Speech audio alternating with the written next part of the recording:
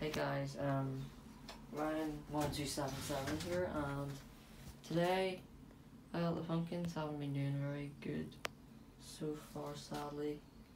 There are, like, a few of the meal flowers coming up here and there.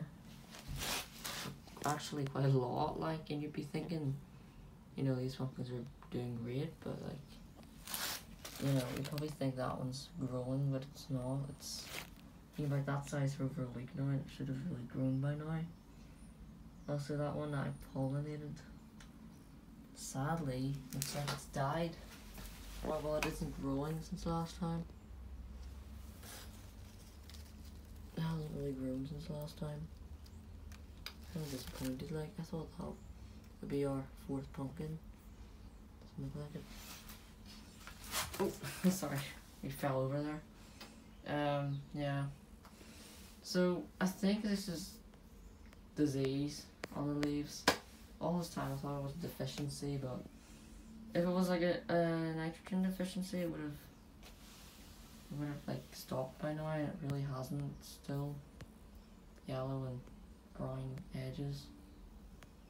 See there. Um, I actually these leaves are so bad that I sprayed them and it's barely died. And I might actually have to cut off all the row of leaves here on all of them. And I have to just trim them off because they're pretty bad. So notice one of them actually rotted, one of them fell off and rot. I had to cut a few off today. They're pretty bad. And I don't know that's gonna grow. Like there's a male flower right now. The next female to come out is that one there. Don't know when it'll come out, in the next couple days. And that's another male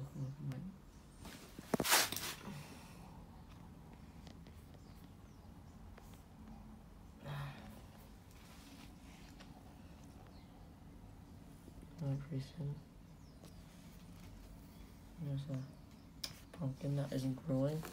The tips are showing some female flowers and stuff, but not great. They're not doing as great as I thought they would in October. You know, I thought, I heard that apparently these things require a lot of air circulation, but it's hard to get air circulation in a greenhouse. So that could be the main factors reason why there's so much disease on these guys. Like, yeah, just hopefully next year will be better. Like, I'm gonna be growing them out that vegetable patch where the Brussels sprouts are, and gonna let them grow in the garden. So it should be better next year. You know, I, I will try because there's a lot of meals here, which is good. I was complaining about weeks ago. I mean, no, I'm not getting enough females, and vice versa. There's a female there. Hopefully, she shouldn't be long to come out. And there's a a female there as well, and out there. That probably won't take long either, though. I don't know. Like, and there's also well, that's a pumpkin, though I don't know if it's gonna grow because like I didn't pollinate it. It just grew big. Is that? Is it gonna grow? Don't think it will. I might just cut it off. Uh, yeah.